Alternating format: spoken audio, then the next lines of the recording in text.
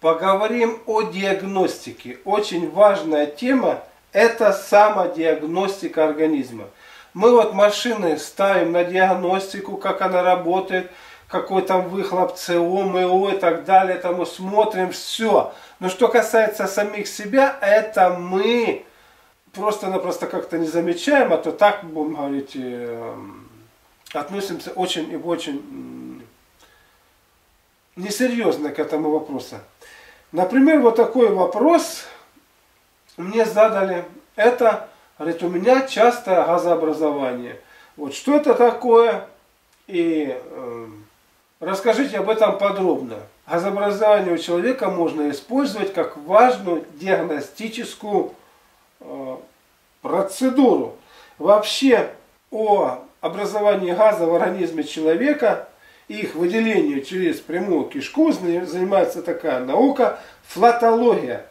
От слова флата это ветерок. И значит это наука о ветрах, которые образуются э, в организме у взрослого человека. Значит, у взрослого человека в желудке кишечника постоянно содержится от 200 э, до 1 литра газов. И это нормально. То есть в желудке содержится газовый пузырь для того, чтобы он давил вниз. Как только мы переедаем и этот газовый пузырь, он просто-напросто открывает клапан, и мы, значит, э, в виде икоты выбрасываем лишний воздух. Значит, процесс эдификации, помимо ее из кишечника в норме за сутки выводится около 600 мл газов от 100 до 2000 мл по разным источникам. Значит, то, что мы называем пуком, по-научному называется флатос. Итак, флатология. Значит, что надо знать о метеоризме, так, в общих чертах. Я вообще эту беседу разбил на две части. Вот такая вот обзорная, и потом то, что я диагностическое буду говорить. Значит, при метеоризме объем выводимого газа может достигать 3 и более литров. Состав газовой смеси у здоровых людей следующий. Азот от 24 до 90%, углекислый газ 4,3-29%, кислород от 0,1 до 23%, водород от 0,6 до 47% метан от 0 до 26%, а также небольшое количество сероводорода, аммиака и летучих меркаптанов. То есть это тех веществ, которые мы а, определяем по запаху. Значит, откуда теперь берутся вообще этот газ? Будем так говорить. Вот. Источник поступления газовой смеси в кишечник – Основные источники поступления газовой смеси в желудочно-кишечный тракт – это заглатывание воздуха и диффузия газов из плазмы крови. Проглоченный воздух – основной источник поступления газовой смеси в желудок. В среднем при заглатывании 10 мл жидкости в желудок поступает около 17-18 мл газа. Таким образом, при употреблении в сутки полтора литра жидкости в желудок попадает около 2600 мл газа. Ну, к этому количеству необходимо добавить объем газа, который попадает при проглатывании твердой пищи и слюны. В среднем здоровый человек совершает около 600 глотательных движений в сутки. При каждом глотке воздух в желудок поступает в среднем 2-3 мл воздушной смеси. Быстрая еда с недостаточным пережевыванием, проглатывание больших кусков пищи, разговоры во время еды могут приводить к увеличению объема проглатываемого воздуха и увеличению газового пузыря в желудке. Но вообще-то газовый пузырь, он регулируется, поэтому лишнее как-то там не, не, не зайдет. У лиц, страдающих воспалением воспалительными заболеваниями носоглотки, а также с плохо подобранными зубными протезами могут возникать более частые глотательные движения, что приводит к увеличению объема заглатывания воздуха. Значит, метеоризм. При нарушении соответствия между образованием газов в кишечнике, их адсорбцией, то есть всасыванием, и удалением возникают условия для избыточного скопления газа в желудочно-кишечном тракте, что приводит к развитию метеоризма. Одного из самых распространенных симптомов, встречающих более чем у 90% гастроэнтерологического профиля. Вот так это называется. Интересно. Итак, причины избыточного содержания газа в кишке. Можно условно выделить несколько видов метеоризма. Алиментарные. Возникает, например, при значительном количестве непереваренной клетчатки в рационе. То есть, мы знаем, что жвачные животные, слоны, там, носороги, коровы, лошади при потреблении растительной пищи, у них там вырабатывается значительное количество газов, то есть это нормальные газы, возникающие от клетчатки.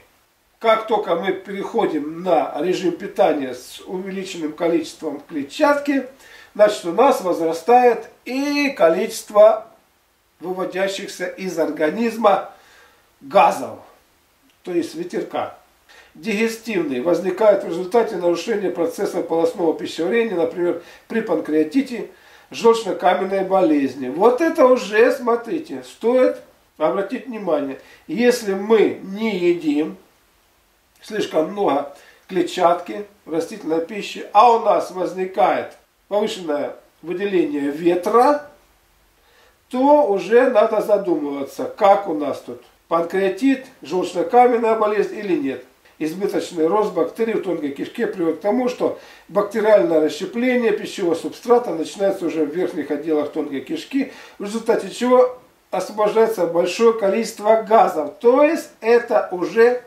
дисбактериоз. То есть если у нас нету, мы нормально питаемся, э, то есть не клетчаткой, э, желудочно-кишечный тракт вроде в порядке, а избыточное количество у нас газа возникает, это говорит о том, что у нас просто-напросто дисбактериоз начинается. Он пока начинается. Далее механический при опухолях, стенозах кишки. Динамический вследствие нарушения двигательной функции желудочно-кишечного тракта. Динамический, то есть пища либо чрезмерно долго остается у нас в желудочно-кишечном тракте, начинает гнить, либо она быстро проскакивает, тоже вот такие вот вещи. Это уже надо смотреть по стулу. Твердый стул, то есть есть запор и газы, это значит к этому относится. Нету запора, есть понос и газы, это значит относится к вот этому. Циркуляторный при нарушениях кровообращения. Психогенный за счет спазма гладкой мускулатуры кишки и замедления перистальтики. И, наконец-таки, высотные вследствие снижения атмосферного давления при поднятии на высоту, когда газы расширяются, давление в кишечнике увеличивается. Клинические проявления – это неприятный запах изо рта, отрыжка, урчание в животе, позывы на дефекацию, боль вздутия живота, повышенный объем и зловонность выпускаемых газов, непроизвольное спускание газов, снижение качества жизни. Еще разок поговорим об избыточных причинах содержания газа в кишке. Алиментарный, от питания. Значит, смотрите, проверяем, что вы едите. Растительное слишком будет много. Если слишком много сладкое, тоже будет образовываться.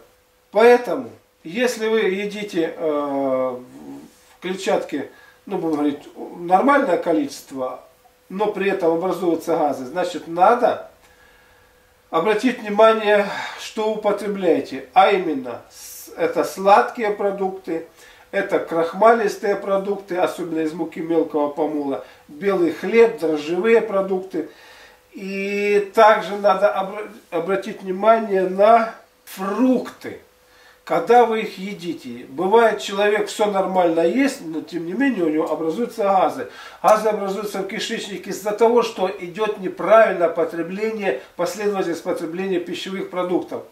А именно, смотрите, если мы покушали с вами и после съели там яблочко, грушу, сливы, там еще виноград, то естественно эти вещества у нас продукты перевариваются в тонком кишечнике. А если тут уже лежит мясо с картошкой, то желудок закрыт.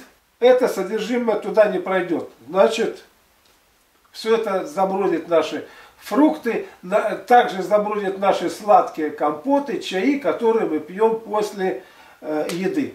И у нас будет повышенное образование газов. То есть повышенное образование газов это следствие того, что идет неправильное пищеварение, а именно там идет бактериальное расщепление. И вот это бактериальное расщепление, бактериальная флора, она может быть для нас как полезной, так и вредной. Не раскармливайте у самого себя ту микрофлору, которая, которая в конце концов может использовать наш с вами организм для того, чтобы просто-напросто есть. Не раскармливайте ее. Значит, первое это регулировка с помощью питания. А именно, жидкости, такие как компоты, до еды, а не после еды. Фрукты и сладкие продукты, опять-таки, до еды, а не после еды. Э, в результате нарушения процесса полостного пищеварения. Но тут панкреатит и желчнокаменная болезнь, мы ее отбрасываем. Это уже другая область. При избыточном бактериальном росте в тонком кишечнике. Вот это вот нас и интересует. Потому что здесь большую роль играет, что мы едим и объем употребляемой пищи. Если мы с вами съедаем нормальное количество пищи, которую наш организм успевает переварить, успевает выделить желудочно-кишечные э, соки, ферменты, и все это успевается перевариться, газоотделение у нас идет нормальное. Если же мы переели или неправильно съели, то вот этот субстрат пока организм у нас что-то усваивает одно, его начинают разлагать бактерии с повышенным выделением газообразования. И вот эти вот бактерии, они также начинают разноситься по всему организму, и помимо, допустим, полости в желудочно-кишечном тракте, они начинают, будем говорить, жить и в других органах, вызывая там какие-то неблагоприятные болезненные изменения. То есть вот этот вот, будем говорить, повышенное ветрообразование, особенно когда мы чувствуем, что у нас изменился и запах, это говорит о том, что определенная микрофлора э, взяла вверх в нашей, значит, э, желудочно-кишечной микрофлоре и начинает, будем говорить, э, играть первую скрипку, начинает диктовать что, что и как. Это уже способствует тому, что через какое-то время у нас могут возникнуть серьезные заболевания, вплоть до онкологии. С чего начинается? Эти бактерии начинают для себя строить тела. Особенно если это э, грибковая колония, она начинает строить э, грибковое для себя тело внутри полости э, желудочно-кишечного тракта. Либо расселяясь, она это делает в любом месте, в любом месте, куда она э, распространяется и доходит. Если у вас повышено отделение газов, если они имеют какое-то обонятельную окраску крайне неприятную, это говорит о том, что у вас уже э, серьезный дисбактериоз, который просто-напросто, если его пустить на самотек, он в течение времени разовьется в то или иное серьезное заболевание. Допустим, через 5, через 10, через 15, 20 лет и так далее. И в конце, в концу будет опухоль где-нибудь. Потому что это все ведет к тому. Значит, здесь регулируем питанием раз, меньше сладкого. Правильно питаемся. Все это сбалансировано, не переедаем. И если уже у вас дисбактериоз бушует во всем, как мы действуем, лично как я действовал. Я беру семя тмина, ну, у меня имеется черное э, семя тмина, у меня имеется семя тмина обычное. Я брал примерно по пол чайной ложечки и утром натощак глотал. Семя тмина не разжеванное, идя по желудочному кишечному тракту, от наших желудочно-кишечных соков начинает размокать, и в области тонкого кишечника, толстого кишечника начинает выделять свои вот эти фитонцидные ароматные вещества, которых крайне не любит патогенная микрофлора. Та, которая нужна, остается, а вредная нет. Более того, по всему желудочно-кишечному тракту, особенно по кишечнику, эти семена то там останавливаются, то там застряли, или еще, как бы сказать, вот все эти кармашики начинают прорабатывать. И я был очень доволен, потому что от того, что человек использует молочную пищу в огромном количестве, такие вещи, от того, что он использует сладкую пищу, любит компоты пить и неумеренно, опять-таки повышенное ветрообразование идет. И плюс, если мешанину там различную, все это намесил, то у него там э, повышенно выделяются, значит, э, ветры. Причем они имеют плохую обонятельную окраску. Все это можно решить с помощью нормализации питания и использованием вот таких вот средств, как черный тмин. Можно использовать и тратчатку. Она также проходит по всему желудочно-кишечному тракту и делает вот такие вот вещи. Ну, тмин я просто считаю более, так сказать, э, вариант лучше в том смысле, что его можно дольше применять. То есть изменение этой микрофлоры, можно понимать, происходит при изменении пищи, объема пищи и неправильном потреблении той же самой пищи. Ну, плюс там эмоциональный фактор, но мы это не берем. Вот о чем я хотел с вами поделиться. Вам понравилось? Будьте добры, позвоните в колокольчик и поставьте лайк.